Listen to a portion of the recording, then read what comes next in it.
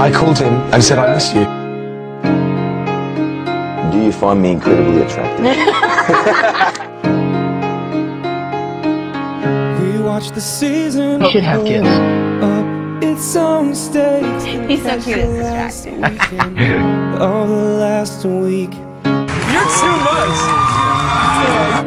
have been replaced. And the Golden Globe goes to. Oh my god. Jim Morrison! Each drew an inch closer. I find myself in, in this kind of crazy world where I get to meet sort of wonderful characters like Big Gary.